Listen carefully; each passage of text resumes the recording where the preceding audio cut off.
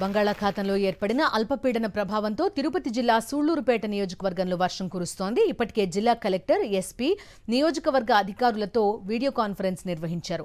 తుఫాను ప్రభావంతో వరద ముప్పు ప్రాంతాలను అలాగే లోతట్టు ప్రాంతాలలో సహాయక చర్యలు చేపట్టాలని అధికారులకు ఆదేశాలు జారీ చేశారు.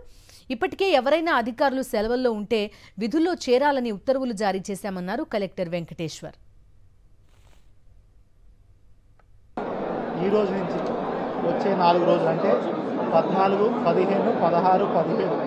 ఈ నాలుగు తారీఖుల్లో కూడా తిరుపతి జిల్లాకు మరియు మిగతా రాయలసీమ జిల్లాలకు నెల్లూరు జిల్లాకు మరి ముఖ్యంగా తిరుపతి జిల్లాకు భారీ నుండి అతి భారీ వర్ష సూచన మనకి ఐఎండి వాళ్ళు ఇవ్వడం జరిగింది. All divisional officers all district officers mandal level అధికారులందరితో కూడా నిన్న హెడ్ క్వార్టర్స్ వాళ్ళందరూ మెయింటైన్ చేస్తూ ఏదైతే మనకు రానున్న ఫోర్ డేస్ వర్ష వర్ష సూచన మేరకు అన్ని ఏర్పాట్లు వాళ్ళతో చేయించి అందరికి కూడా జిల్లా ప్రజలందరికీ కూడా అప్రమత్తం చేయడం జరిగింది. ఏదైతే